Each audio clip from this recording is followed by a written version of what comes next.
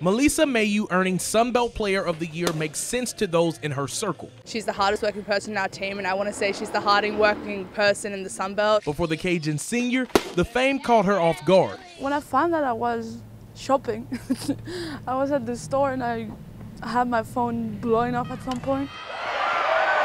Now, you'd think after a campaign of 29 RBIs and six home runs, there'd be time to reflect.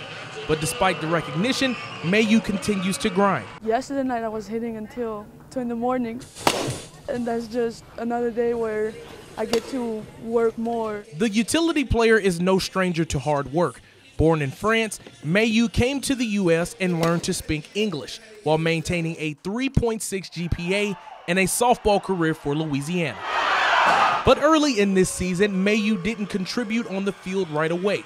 In the first seven games, the senior started in just two contests. That was hard. Um, at the beginning of the season, I wasn't expecting to have the season I just had. She accepts reality, and if she's if, if she's not getting the bat the bat on the ball and she's not getting the hits, she knows it. She just works even harder. In the midst of waiting, UL had a few players get hurt.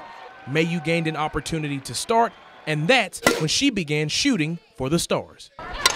I knew that I could step up for my team and just fill in the holes wherever somebody was hurt.